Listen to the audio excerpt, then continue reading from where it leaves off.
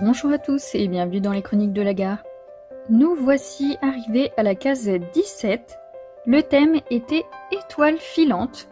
Pour ce coloriage, j'avais envie de changer un petit peu de tout ce que je fais depuis le début qui reste assez simple et dans des couleurs classiques.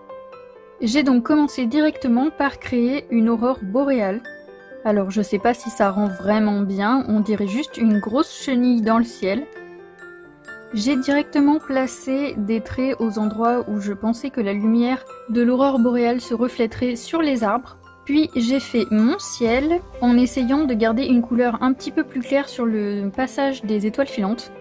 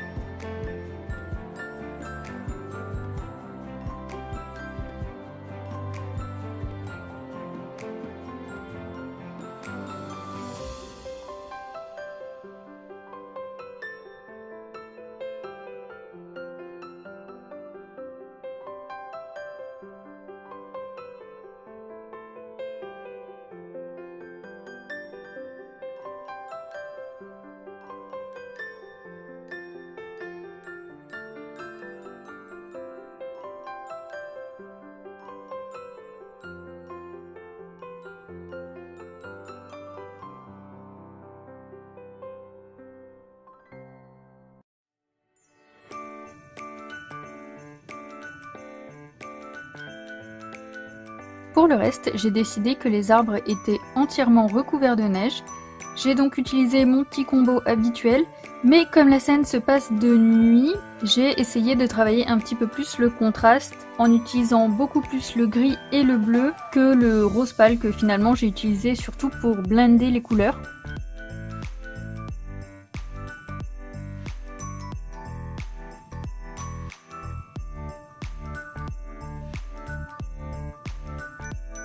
D'habitude, je choisis toutes mes couleurs à l'avance pour essayer de faire euh, la mise en couleur le plus rapidement possible, ce qui me fait gagner du temps au montage et qui réduit euh, le temps de vidéo et donc le temps d'upload de celle-ci. Mais sur ce colo, j'ai choisi toutes mes couleurs pour le fond et j'avais vraiment pas d'idée pour le personnage. Et c'est en retravaillant un petit peu mon horreur boréale que du coup j'ai eu l'idée. J'ai eu envie de faire un espèce d'esprit qui regarde le ciel donc j'ai pris mon posca vert, j'ai fait le contour du personnage et ensuite j'ai essayé de lui créer une espèce d'aura lumineuse de la même couleur que les aurores boréales, puisque dans pas mal de légendes elles sont reliées avec le monde des esprits. Je trouvais que ça allait bien. Ça fait peut-être pas très ambiance Noël, mais euh, j'aime beaucoup le résultat de ce coloriage. J'espère qu'il vous plaît à vous aussi. Je vous souhaite une bonne journée et je vous dis à demain pour la case numéro 18.